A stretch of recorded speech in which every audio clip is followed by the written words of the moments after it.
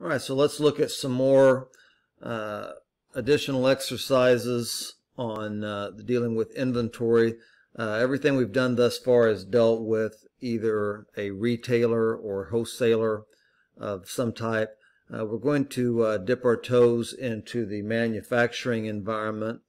And when, when you move on to uh, managerial accounting um, or accounting two, depending on what school you're at, you'll get a bigger dose of this. So, uh, but we need to uh, we need to understand that not all businesses are service related businesses or merchandising companies. Manufacturing companies have ending inventory values and cost of goods sold uh, as well. So we have a company here uh, that has just begun operations.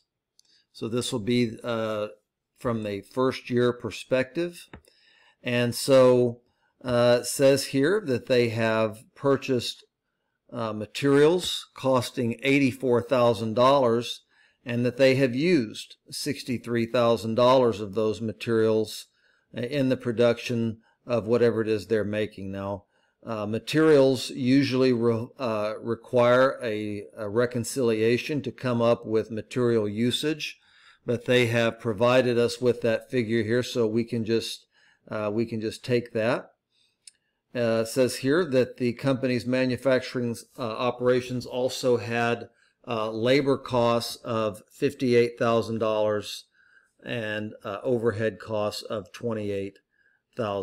All right, so um, should probably mention that when we're dealing with a manufacturing company, there are uh, multiple components that go into our product cost because we're not just buying it from someone else, we're manufacturing it from the ground up. So our three components of product costs are going to be our materials, our direct labor costs, and our overhead costs associated with making that product. Okay, so they've got some further information here at the end of the year. The company had $19,000 of partially completed work in process inventory. Uh, and then they had $35,000 in finished goods inventory. So when you start to look at manufacturing companies a little bit closer, you'll find out that they have not one, but three different types of inventory. They have their regular raw materials. They have, uh, as one type of inventory, they have uh, something called work in process, which are basically partially completed uh, units. And then we have finished goods inventory. And finished goods inventory is uh, just your, your garden variety inventory. All right. So they want to know what was cost of goods sold uh, in 2020. So looks like we've got some uh, a little box here that can help us with this. So they've broken this down into work in process inventory and into finished goods inventory. And so they ask us for several things, and a lot of this information is provided to us. So, materials used. They gave us this in the question as 63,000, so we might as well go ahead and put it down. We didn't have any beginning inventory, so we don't have to worry with that. Labor costs they provided to us as 58,000 direct labor costs. And we have overhead of 28,000. So cost of goods produced.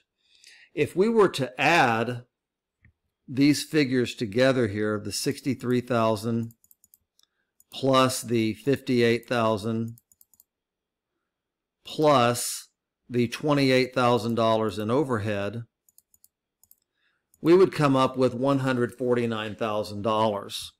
However, our next box asks us for cost of goods produced, and our scenario tells us that of this $149,000 that we have on our calculator here, that $19,000 is uh, not complete, and that's going to be our ending inventory of partially complete items.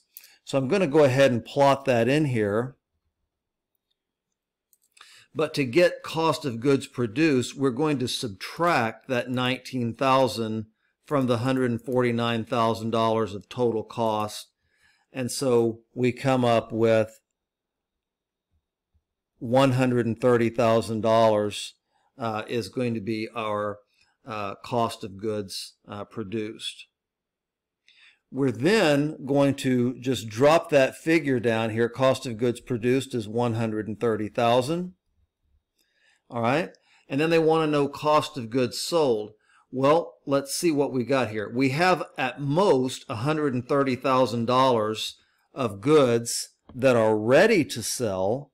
But if we come back up here to our scenario, we find that we have $35,000 in our finished goods inventory. So they've given us our ending inventory value.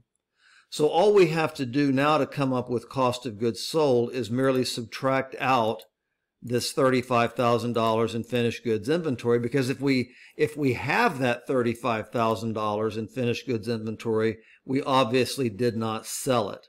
So the difference between uh, cost of goods produced and ending inventory, $95,000, and that rep represents our cost of goods sold amount.